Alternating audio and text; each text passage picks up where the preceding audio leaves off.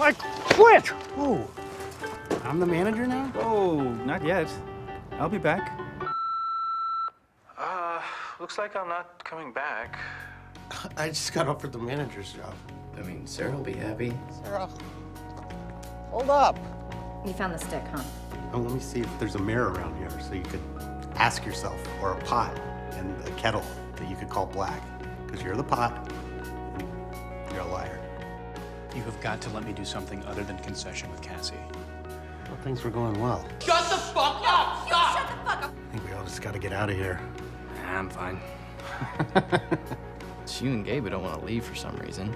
Give me one fucking good reason why you're not going to college. Say I'm at a party and I've been drinking a lot, okay? And this girl wants to suck on my penis, but it's gonna be sweaty and it's gonna taste gross. Do I let her do it and let that affect future suckage because of how gross it tastes? Or do I go shower and I use some sort of fantastic soap, makes it taste like flowers? Would that be fucking weird to her? Like, why does that dude's penis taste like flowers? You know?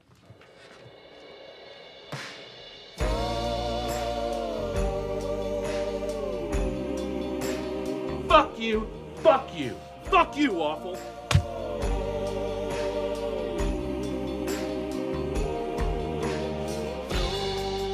Come check out these movies. Check out these boobies. What?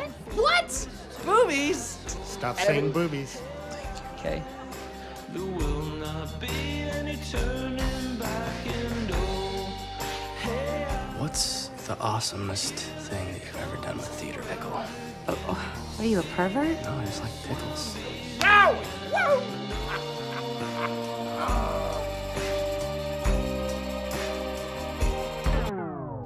Oh yeah, it's it's kind of like a combination of my dog Skip and Precious.